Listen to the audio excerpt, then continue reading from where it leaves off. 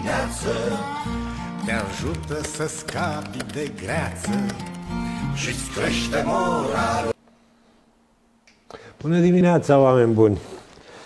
Zi de sărbătoare pentru toți creștinii ortodoxi, Boboteaza sau Sfințirea tuturor apelor, preotul sfințește casele cu apa care a fost sfințită, mă rog, pe vremuri sfințea de Bobotează, acum sfințește înainte și după.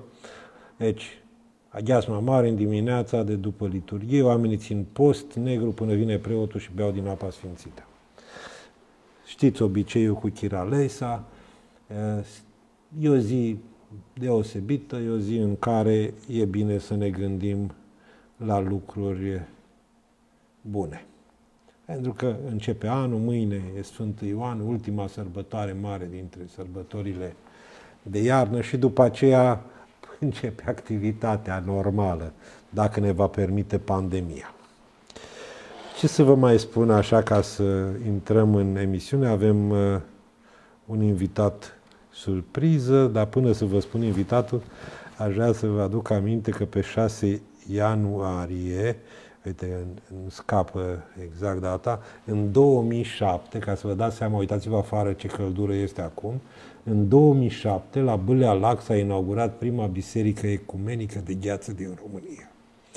Asta așa numai ca să intrăm în atmosferă. Astăzi, uh,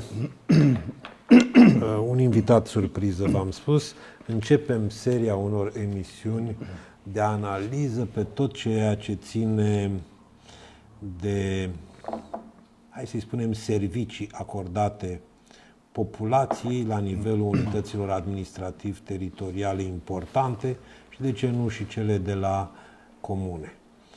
Uh,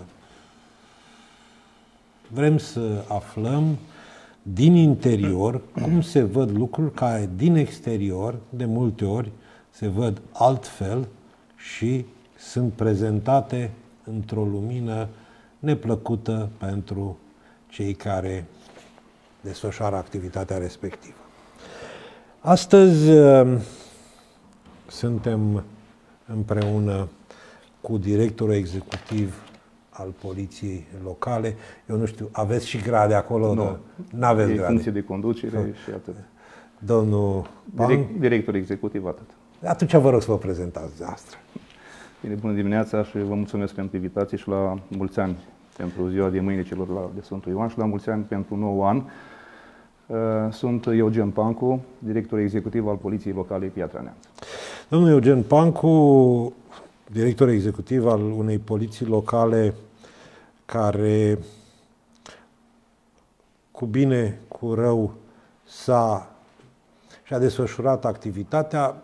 Eu, ca observator din afară, pot să spun că în ultimele luni, 4-5 luni, se observă un alt mod de a interacționa al poliției locale cu populația, iar în noaptea de Revelion, cel puțin de la organizatorii Revelionului, am auzit numai cuvinte bune la adresa poliției locale și, al, și a jandarmilor. Apropo de modul în care s-a asigurat, uh, să spunem, disciplina, măsuri de ordine, măsuri de ordine în zonă, pentru că a fost foarte multă lume. Uh, am văzut bine că s-au mai schimbat niște lucruri în, uh, în modul de interacțiune al poliției locale sau greșesc? Ați remarcat foarte corect situația de fapt. Într-adevăr, dacă ne referim numai la evenimentul de, să spunem, Crăciun și Reverion, Poliția Locală împreună cu colegii de la jandarmerie au, au avut un dispozitiv. Am reușit să trecem de acest, să spunem, eveniment cu bine. N-au fost incidente majore, cu mici excepții, bineînțeles. Orice eveniment de genul acesta și de această anvergură sunt asemenea situații, dar pe ansamblu lucrurile au fost au ieșit foarte bine și sperăm că pe viitor vom merge în aceeași formulă astfel încât toată lumea să fie mulțumită și să fie în siguranță acolo unde sunt asemenea evenimente. Domnul director, despre poliția locală se vorbește nu numai la Piatra Neamț, ci în toată țara. Despre faptul că une, în unele orașe se spune, domne, nu ne trebuie poliție locală, alte orașe, poliția locală are o co- co- cooperare și colaborare foarte bună cu administrația locală și cu rezultate. Pe unde se încadrează Poliția Piatra Neamț în această discuție?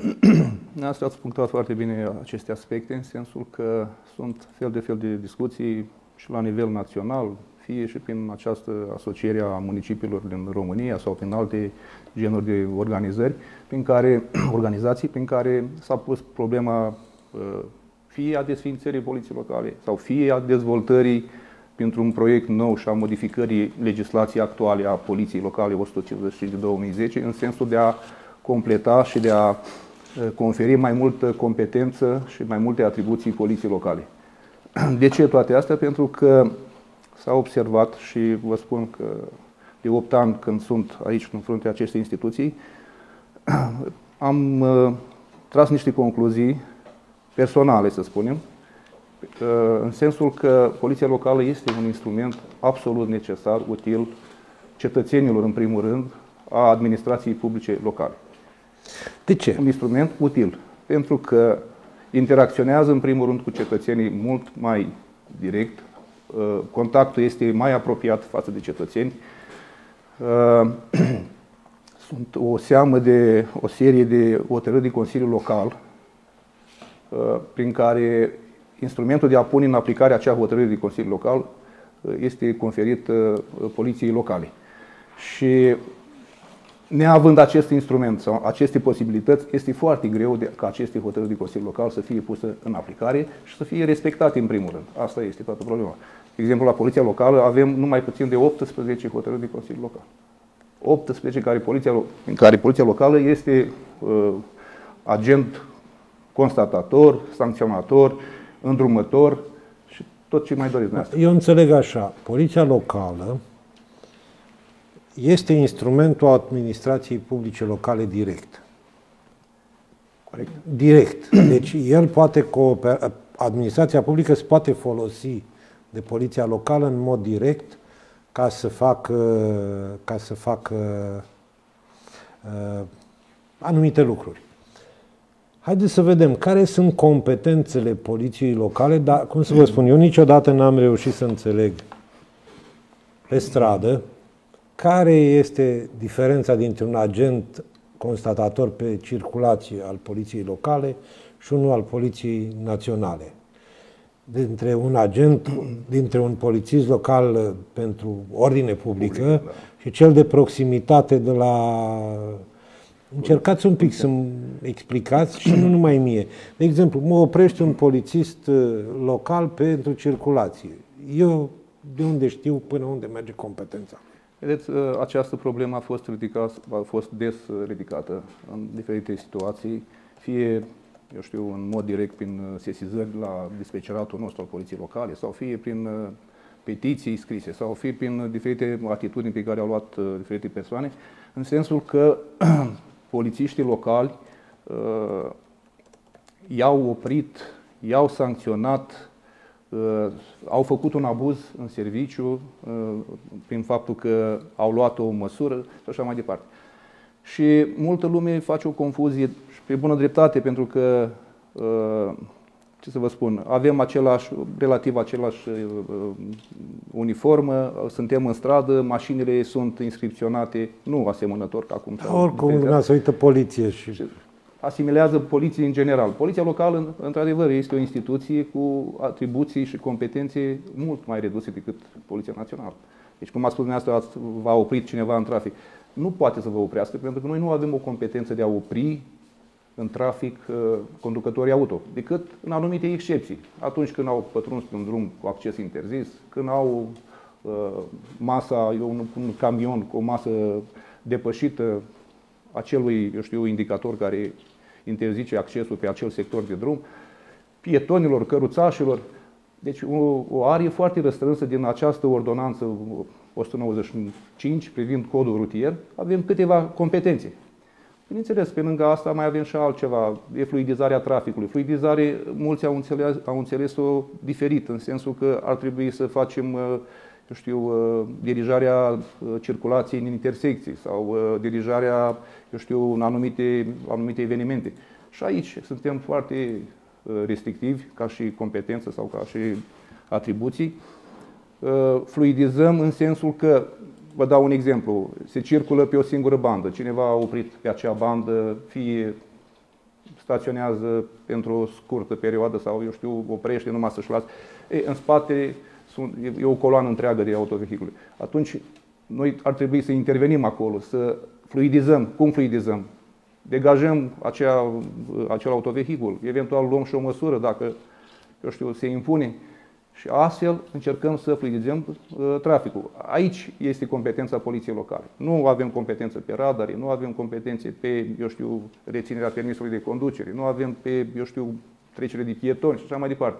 Se dorește acum, pentru un proiect legislativ, care am înțeles că se află deja uh, uh, în discuții, de a conferi mai multă competență poliției locale. Poate nu la nivelul acesta, dar cel puțin câteva aspecte am considerat și eu, am completat un pic acel chestionar în sensul ăsta, de a conferi mai multă uh, competență poliției locale, în sensul că, cum a spus dumneavoastră, am, un cetățean a oprit și a plecat de la autovehicul. Deci eu ce ar putea să fac în momentul ăla ca polițist local? Poliția Națională, în paralel cu Poliția Locală, ce poate să facă? Să-i facă o adresă acasă, îi trimite, vă rog să-mi comunicați cine în perioada respectivă, la un momentul X, a condus autovehiculul. Și atunci, pe baza acelui răspuns, care este de fapt și obligatoriu, pentru că este sub, poate fi sancționabil în caz de nu răspuns, cu puncte de penalizare, poate să ia o măsură să îndrepte împotriva acelei persoane discutăm acum un caz excepțional, oprește pe o linie de tramvai sau într-o intersecție, exact. nu discut. Aici sunt chestiuni. Aici, dacă ar exista, cum sunt în alte orașe, un regulament de ridicat al autovehiculului, într-adevăr, poliția locală are competență de a da dispoziție și să ridice acel autovehicul. Dar deocamdată la noi sunt în discuții, urmează să se dezbată acest proiect de ridicare a autovehiculelor. E o altă discuție pe tema asta. Deci, repet, aici se oprește competența noastră, redusă față de cea a uh, poliției uh, române. Bun. Haideți un pic. Uh, s-a încheiat anul. S-a încheiat anul. Aveți, bănuiesc, datele concentrate într-un raport. Spuneți-mi un pic, pe competențele pe care le aveți, cum se vede din cifre activitatea? cum se vede din stradă, o să vedem în continuare în lunile următoare uh, din partea oamenilor. Deci cum se vede din cifre? Porniți, eu zic, vă, eu zic spun... haideți să vă dau două, trei repere de la nu. care spun. Numărul de angajați, da. numărul de angajați și, uh, cum să spun eu, uh, nivelul de compartimentare a lor. De compartimentare și nivelul de încărcare a lor cu probleme. Da. Uh, este o întrebare frecventă. Câți angajați are poliția locală? Și mulți și închipui că suntem poate sute, sau, dar nu suntem. Suntem numai 85 de angajați al poliției locale, din care câțiva, 3, 4 suntem cu funcție de conducere, câțiva care asigură, să spunem așa, între ghilimele, TESA, înseamnă contabilitate, resursă umană, secretariat, vreo câțiva lucrează la 5, lucrează la acel dispecerat pe care îl avem și ceilalți sunt, mai avem încă 13 persoane care sunt agenți de pază, deci să nu uităm și componenta aceasta de pază, că avem două obiective de pază ale poliției locale, mă refer primărie și Curtea Domnească. Deci, practic, dumneavoastră asigurați paza pentru primărie și Curtea Domnească. Atât. Înainte, pe, pe vremuri da. acolo erau firme de pază, dacă ținem minte la Curtea Domnească. Da, aia a fost o firmă de pază și noi am preluat acel obiectiv okay. Curtea Domnească ca o paranteză, în 2014, când am venit, poliția locală avea în jur de 40 de agenți de pază, din 80 și ceva. Deci era un efectiv aproape Dar probabil, jumătate probabil mai mult. că aveau mai multe obiective. Aveau sau? mai multe obiective, ca pasă. Deci noi am răsturnat un pic situația și, am, și mi s-a părut absolut normal să poliția este poliție și are măsurile specifice și să diminuăm un pic acest compartiment de pază. Și ca să revin, ceilalți 60 sunt operativi. Adică sunt, uh, eu știu, pe compartimente, fiecare își are compartimentul său cu atribuțiile sale și competențele sale. Sunt câteva compartimente distincte, am spus deja acest compartiment de pază care asigură cele două obiective ale primăriei și sunt celelalte compartimente operative, ordinea publică, unde sunt cei mai mulți, uh, în jur de 50 de lucrători, agenți. Avem compartimentul acesta de siguranță rutieră, unde uh, efectiv acum suntem șase. Avem celălalt compartiment care reprezintă o pondere, eu știu, foarte importantă ca și activitate, dar ca număr foarte redus, disciplina în construcții, numai doi lucrători. Suntem pe acest uh, compartiment. Cei de asta, la... este, asta este un compartiment foarte greu.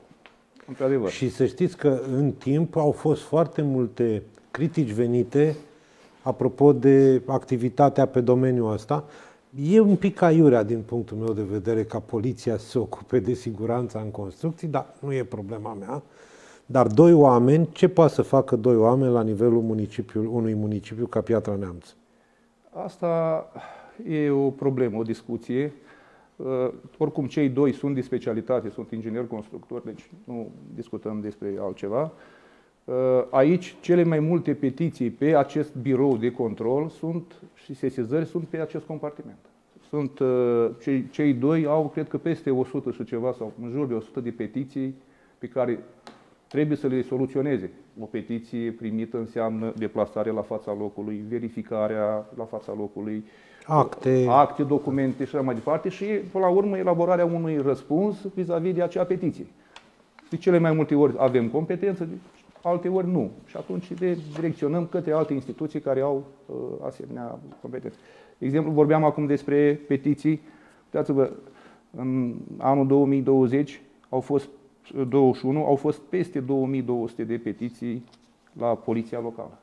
Numai prin dispecerat au fost uh, primite 1159 de petiții. Asta arată că populația are încredere în poliția locală și apelează foarte des la poliția locală cu, divers, cu diferite chestiuni, fie de ordine publică, fie de siguranță rutieră, cam astea sunt cele mai frecvent uh, sesizări și sunt, pe lângă acestea, scrise prin poștă sau online 861 de petiții la nivelul poliției locale care trebuie soluționate, deci scrise. Asta înseamnă, am mai spus, uh, pe teren, verificare, uh, documentare și uh, răspuns la acele petiții. Vreau să mai spun că poliția locală are un compartiment, urmează să fie un compartiment de dispecerat pe care să-l dezvoltăm. Când vă referiți la dispecerat, vă gândiți doar la răspunsul la telefoane nu. sau vă gândiți și la acea componentă care în alte orașe s-a dezvoltat enorm, uh, supravegherea, practic, punctelor principale din oraș, video. Așa este. Dispeceratul poate e un termen un pic uh, depășit, ar trebui completat și cu un alt termen, ofițer de servici, dispatcher, Practic, dispatcherul, pe lângă monitorizarea pe care o face la acele camere pe care le avem acum, în jur de 125 de camere, răspund, răspunde la acele petiții, practic, el direcționează toate echipajele în teren, el urmărește, eu știu, deplasarea lor în termenele conform procedurilor pe care le avem la acele sesizări. El face sinteza acelor Uh, să spunem, rezultate, de exemplu, pe ordine publică, un scandal, să zicem, în piața centrală. Ne-am deplasat, am luat măsurile ca atare, ne-am întors, am raportat, el le, practic, le sintetizează și le transformă într-un raport uh, pe 24 de ore pe care îl prezintă conducerii instituției pentru fiecare uh, zi lucrătoare. Șapte zile din șapte zile Vă dați seama, deci, 24 din 24 deci, de ori practic, un om stă acolo. Rolul acestui om devine esențial. Devine. De aceea noi vrem să dezvoltăm acest uh, compartiment, acest, uh, uh, în sensul că pe lângă acele camere, dacă o să observați la acest raport pe care l-am făcut noi și îl facem de fapt în fiecare an și trimestrial și la șase luni și anual, una dintre propuneri ar fi de îmbunătățire a activității noastre ca poliție locală ar fi acesta, de dezvoltare a unui dispecerat modern, de a face, să dezvoltăm și numărul de camere la sfârșitul acestui raport. O să vedeți câteva propuneri de îmbunătățire a activității noastre. Și o propunere ar fi aceasta. Evident, extinderea rețelei actuale de la 123 de camere la mult mai multe, în anumite zone, dacă e posibil, unde nu avem acoperire și unde avem semnale, există o, o zonă uh, criminogenă, eu știu, sau de risc, ar fi necesar acele camere pentru că o supraveghere în plus și dublat de fapt că nu sunt foarte multe, eu știu, uh, posibilități de a uh, acoperi prin patrule acele zone.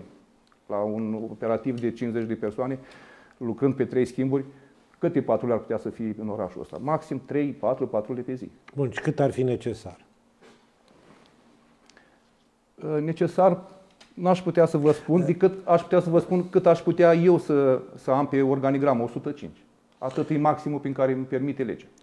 E raportul acela la numărul de populație. 1 la 1000 de locuitori, da. 1 la 1000 de locuitori în condițiile în care nu mai știm nici acum câți locuitori avem. E, exact.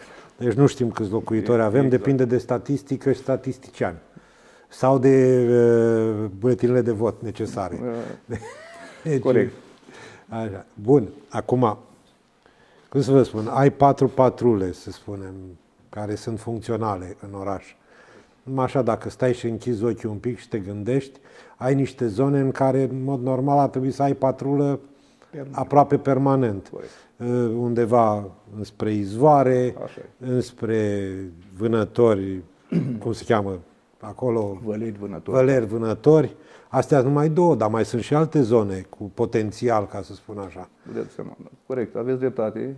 Eu consider că sunt uh, insuficiente ca și uh, ca scop, în primul scopul nostru este de a preveni, de a eventual și combate dacă sunt uh, situații în care putem interveni și ați văzut că avem și infracțiuni flagrante constatate și atunci, în, pentru că nu avem acest personal, nu avem această posibilitate, acele camere, vă spun, ar putea să ne ajute pentru că am constituit poate încă o echipă de intervenție pe, pe lângă cea pe care o avem acum, în care sesizând uh, acel aspect de încălcare, fie și contravențional, putem să direcționăm punctual acolo și am avea un, un oarecum un randament sau un succes, să spunem, în acțiunile noastre.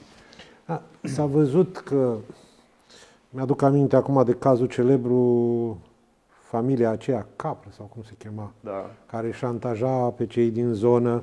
Exact. Deci, acolo totul funcționa și datorită faptului că nu ai posibilitatea să ai tot timpul oameni care să stea printre ei. Da. E foarte greu să stea, dar încrederea în polițiști a etniei respective nu este foarte mare. Corect. Și atunci ei, își rezol- ei consideră că e normal să dea lui Capră sau să supună lui Capră sau cine mai Este o lege nescrisă a lor. Vorbesc din experiența pe care am avut-o ca judiciarist și lucrând practic în Poliția Națională. Dar uh, vă mai spun ceva. Aceste uh, camere și ați dat exemplu în uh, Văleni cu acel personaj, a ajutat foarte mult acele capturi video pe care am reușit să le punem la dispoziție și azi, numai în anul 2021 avem peste 110 capturi video date prin ordonanță. De către adică organ.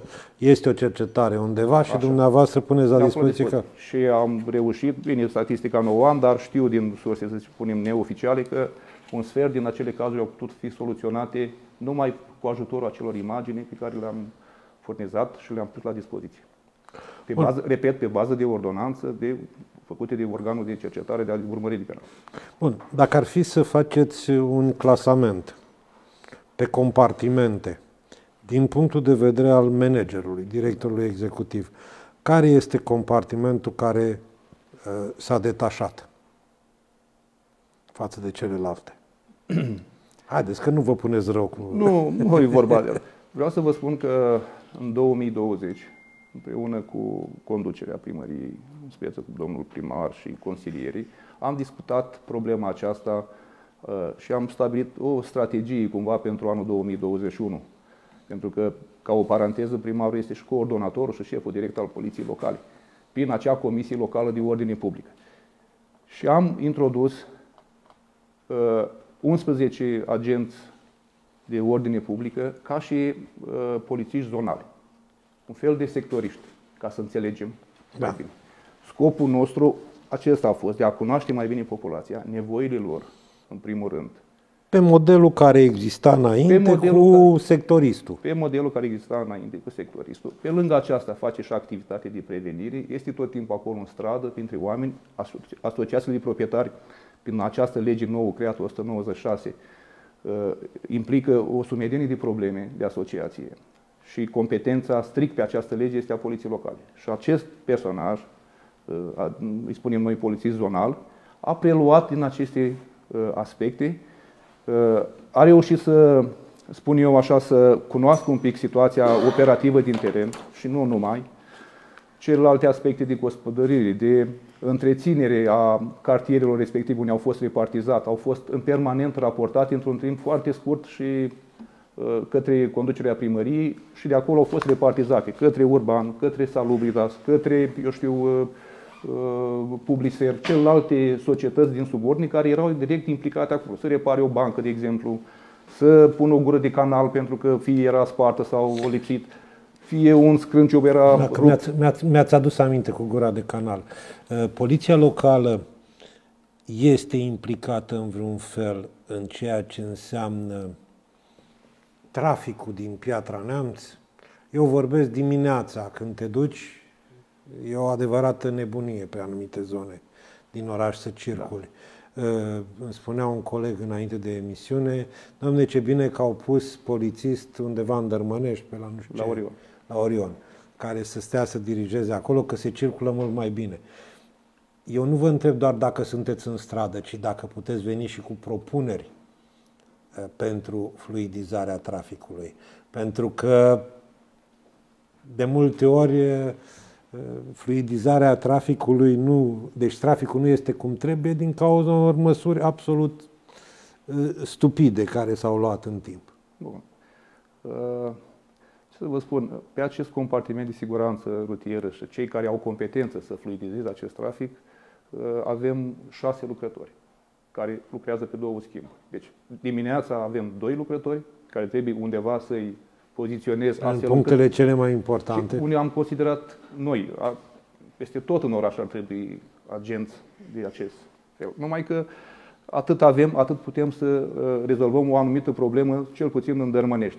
Încercăm școlile, de exemplu. Avem 10 școli repartizate nou, poliției locale măsuri de ordine pe jurul școlilor sau în preajma școlilor la afluire și la defluire și fluidizarea, petrecerea de pietoni acolo și crearea unei siguranțe a copiilor în momentul când traversează și nu numai, și pentru trafic, pentru că dacă în fiecare secundă trece câte un copil, traficul niciodată el rămâne blocat. Știți, exemplu, da. școala 8, școala 5 sau, eu știu, Petru Rare și așa mai departe. Și atunci noi încercăm să stopăm pentru câteva, eu știu, jumătate de minut, un minut, două, pietonii, trec compact un grup, după care se fluidizează și așa mai departe. Ajutăm mult la fluidizare. Lucruri, lucruri normale până normale, la urmă. Absolut normale.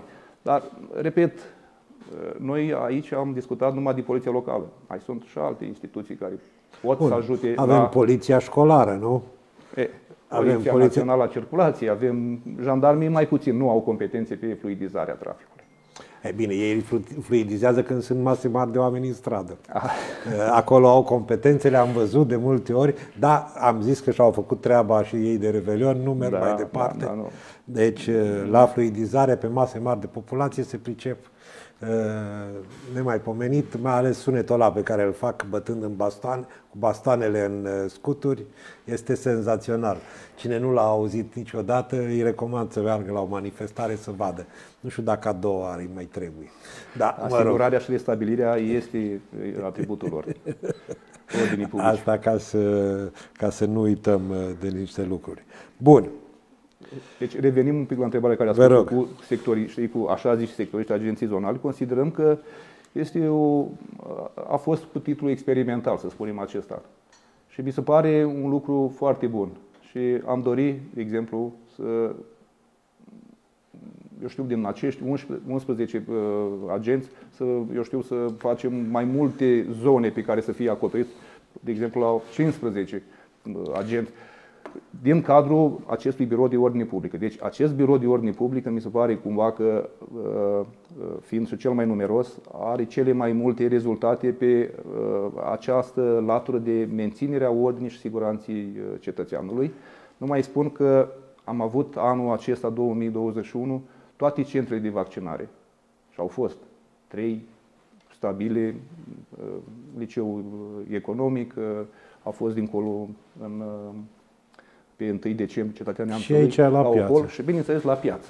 Da. De 2 ani de zile sau aproape 2 ani suntem în permanență la aceste centre, asigurăm și menținem ordinea și liniștea publică în acea zonă. Plus nu mai spun de Carrefour, unde a fost drive-thru, una, Kaufland-ul, Curtea Domnească și așa mai departe. Și acolo persoane luate din acest birou ca ordine publică și asigurat permanent o, una sau două persoane. De multe ori stând aproape degeaba în zonă, pentru că au fost perioade când nu s-a făcut foarte mult. Atunci am scos, am avut da. o discuție cu cel care coordonează centrul și am redicționat în altă Înainte de o întrebare mai, mai importantă din punctul meu de vedere, apropo de personalul din Poliția Locală, spuneți-mi un pic. Am văzut că poliția este implicată și în ceea ce se cheamă infracțiuni de mediu sau, mă rog, încălcări ale legislației în mediu. Da. Uh, e la mod acum tot ce înseamnă poluare. Da. Aveți un compartiment pentru așa ceva? Da, există un compartiment de protecție a mediului, așa este denumirea lui. Uh, avem un protocol încheiat cu Garda de Mediu, avem acțiuni comune cu Garda de Mediu, am avut și rezultate împreună cu Garda de Mediu și, bineînțeles, și acțiuni proprii cu rezultatele respective.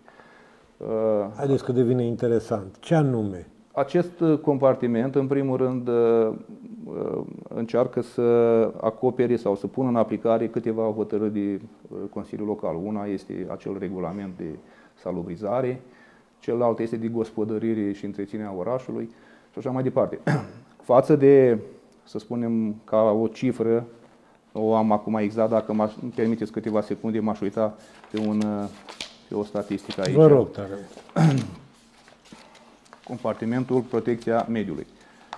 Uh, acest an au aplicat 238 de sancțiuni. Dați seama, uh, cu o valoare de 110.050 de lei.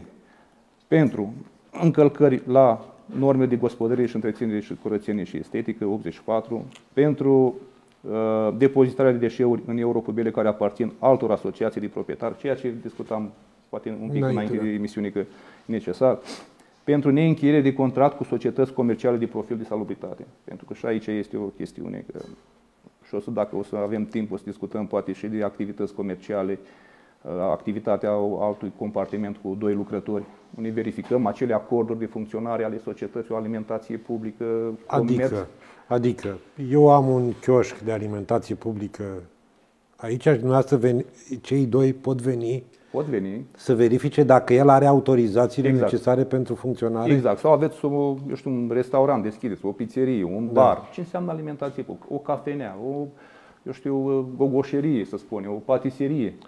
Și pun, și ei constată mai departe ce deci, se întâmplă. Noi constatăm dacă au acea autorizare. Autorizația implică mai multe aspecte. Adică acel acord de funcționare dat de Primăria Piatra Neamț în spate are câteva avize. Adică, în primul rând, de la sănătate. Dacă are de la DSP sau DSD. Asta e poate e lucru cel mai important. Sănătatea, eu știu, consumatorului, cu acele produse, ne gândim numai la o patiserie, câte ar putea implica. Uh, dacă au contractul cu un operator de colectare a gunoiului, exact ceea ce vorbeam acum de un contract cu Bratner, că la urmă asta, la noi, asta este operatorul, singur operator. Uh, dacă are contract de, eu știu, uh, acordul asociației de proprietari. Sunt multe la parterul blocurilor, de exemplu. Și o schimbare de destinație dintr-un comerț simplu, vindem telefoane, într-o, să spunem, patiserie, implică o schimbare de destinație. Asta înseamnă acordul asociațiilor de proprietari sau a vecinilor adiacenți, înseamnă proiect, înseamnă uh, aviz din partea arhitectului șef sau chiar certificat de urbanism și autorizare de construire înseamnă uh, avizul de la DSV, dacă e alimentație publică și alimente de la DSV, uh, o taxă pe care se plătește adevărat, funcție de suprafața pe care o exercită acel comerciant. Deci, el poate verifica... Și în final există un document care se cheamă acord de funcționare. Și acela, acela îl verificăm noi. Dacă nu are acel acord de funcționare, atunci intrăm, tărâm acele legi, ordonanțe 99, prin care fie de fapt așa se întâmplă de fiecare dată, sancțiunea respectivă, obligarea acestuia și suspendarea unei activități de două săptămâni, să spunem, să meargă să intre în legalitate cu documentele, sau dacă au acele avize, de exemplu, au contract, au aviz și o omis fie dintr-o chestiune de timp sau n-au știut că trebuie să meargă la, eu știu, primărie să-și scoată acel acord de funcționare, îi să dăm un termen fără a fi neapărat sancționat, ca un fel de avertisment, să spunem, verbal, mergeți, sau chiar și scris, mergeți și vă scoateți acea autorizație pentru ca să fiți în legalitate completă. Da, revenind la, pornisem de la mediu și am ajuns da, la, divagăm. La compartimentul acesta de control comercial, să-i spunem. Deci, la mediu, care au fost cele mai importante lucruri pe care le-au constatat agenții dumneavoastră la nivel de oraș? Am avut o acțiune, poate o știți, siguranță, uh, vis-a-vis -vis de acele, uh, eu știu, acea poluare, să zicem, uh, din Dărmănești, cu privire la apele acestei menajere care au trecut din acele cămine, eu știu, menajere în cele pluviale sau chiar au fost și branșamente special făcute. făcute și fapt pentru care a dus la, eu știu, la poluarea râului sau râului Cuiești și așa mai departe. Am intervenit aproape împreună cu lucrători de la Publiserv și de la Garda de Mediu aproape două luni, împreună și cu APA Serv, am reușit să identificăm vreo 14 situații de genul ăsta, asociații de proprietari, în primul rând. Și, într-un fel, oamenii aveau dreptate. Noi am somat asociațiile, pentru că au și niște obligații, în primul rând, să își repare acele uh, cămine menajere, să-și repare acele cămine pluviale ei, la rândul lor, bineînțeles că nu-i de competența lor, au sunat la Apa Serv. Apa Serv a intervenit, a reparat acolo unde era de reparat, dar a mai rămas o, o problemă de rezolvat, pentru că ă, toată rețeaua aceasta este foarte veche, în special în Dărmănești. De foarte multă vreme toți știu, sau unii știu, că uneori chiar constructorii din construcție au bypassat cumva ă, acest sistem de menajer și urmează, probabil, nu știu când, să înlocuiască acele tronsoane strict de la căminul uh, menajer la stradă, unui căminul colector sau unei rețeaua stradală menajeră principală, astfel încât să nu se mai înfunde, să nu deverseze dincolo în acele pluviale și de acolo să intre în apele meteorice sau chiar în, uh, în râul Cuiești. Am dus acțiunea asta până la capăt, aproape o lună și ceva cu acești lucrători de la mediu Rezultatele au fost că s-au remediat anumite uh, aspecte sau 90% din probleme respective. Am găsit și persoane particulare care au fost branșate la rețeaua respectivă, au fost luate măsuri, au chemat specialistul, le-au repus pe poziția normală care ar trebui să fie. Asta ar fi o acțiune, să spunem, a celor de la compartimentul protecția mediului. Da. Haideți să sunt acțiuni, poate vom mai reuși să mai vorbim punctual pe compartimente. Pe mine mă interesează foarte tare două lucruri. Unu, cum sunt pregătiți agenții poliției locale? Adică îi aduceți, dau, nu știu, un test, un examen, un concurs. Da. Bun, e clar că lucrurile se schimbă foarte mult. Oamenii aceștia au nevoie după părerea mea, de niște calități speciale. Uh, nu găsesc cei de la poliție suficienți oameni care să fie și care fac și școală. Cum îi, cum îi găsiți? Cum îi țineți? Știți că factorul acesta de resurse umane și de personal este o mare problemă nu numai pentru noi, și pentru multă lume, cu alte instituții și în general. Bun, da, aici aspect... este o chestie uh, importantă. Ăștia intră în, în, în relație exact, cu cetățeanul. Cetățean. Bun. Uh, haideți, pe scurt, să vă spun că anul acesta, până în luna iunie, când am, mi s-a permis scoaterea la concurs, am scos de trei ori posturi de ordine publică la concurs, de recrutare din sursă externă. Uh, cu, cred că, 5 sau 6 posturi. Știți cât sau, câte posturi au fost ocupate?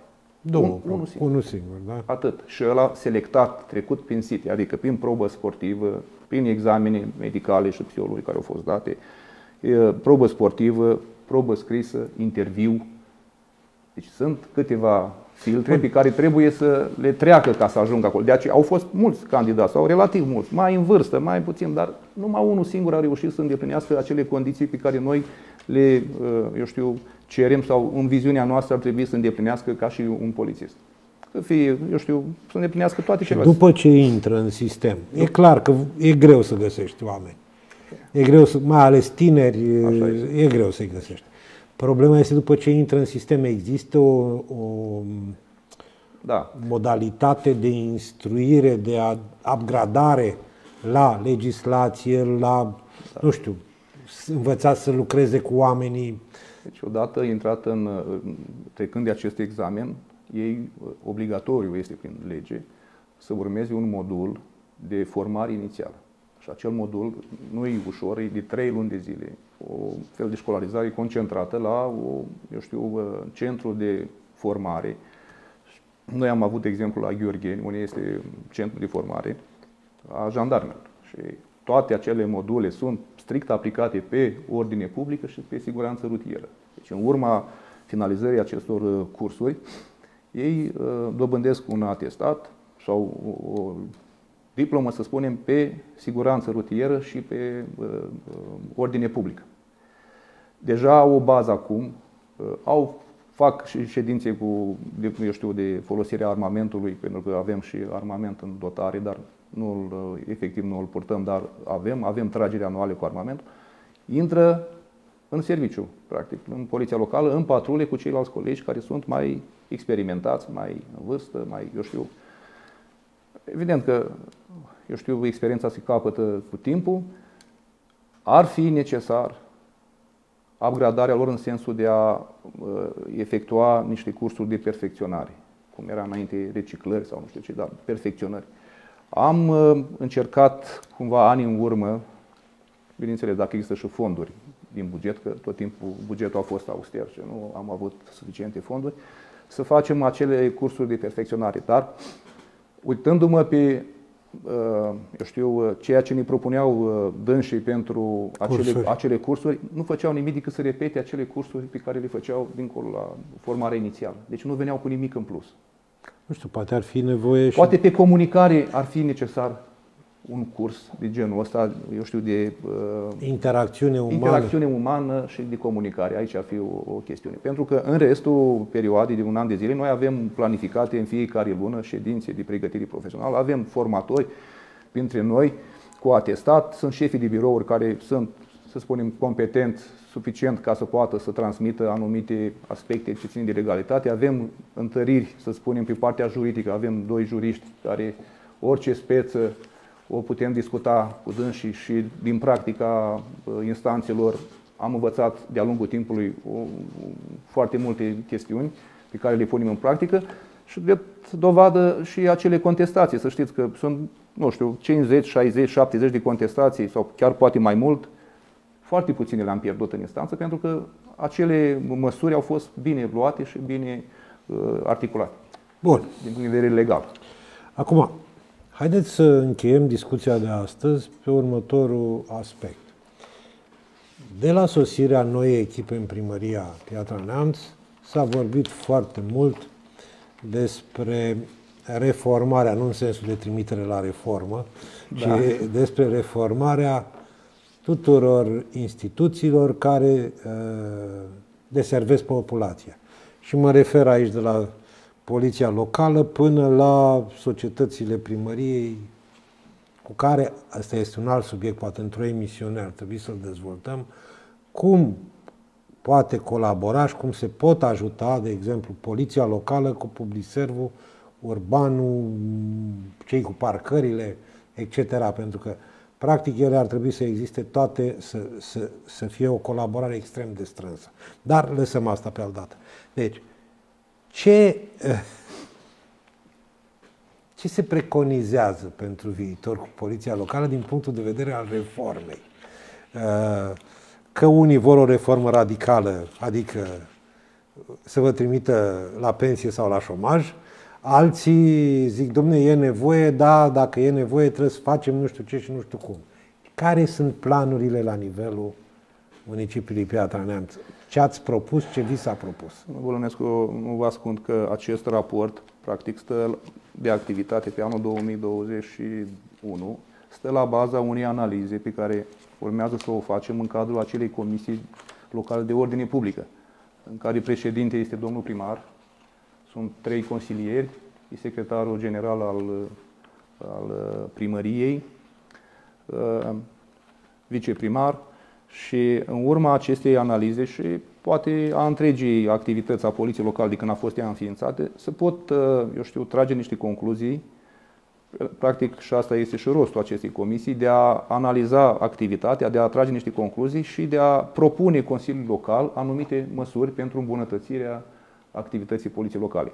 Sau chiar poate, eu știu, dacă se merge pe alte considerente, cum ați mai spus și dumneavoastră, pe desființare, dacă este cazul, pe restructurare în sensul de a diminua ca număr de persoane, de a transforma într-un serviciu în cadrul primăriei. Sunt multe variante, variante de lucru, dar, repet, problema ține strict de calitatea uh, omului în stradă și de uh, ceea ce se dorește din partea primăriei ca și coordonator al activității poliției locale, a Consiliului Local, vis-a-vis de această instituție.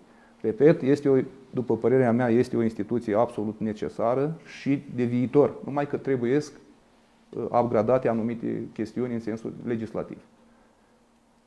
În ce sens? Adică cam ce? Uh, nu știu, eu uh, mă gândesc reformă. Din punctul meu de vedere, nu mă pricep, nu sunt în, în domeniu. Da. Dar cred că ce își dorește orice administrator da. este, domne, să fie cât mai mulți polițiști în stradă, dacă se poate să fie dublu decât sunt angajați. Exact. exact. Deci asta își dorește orice primar, da. orice executiv.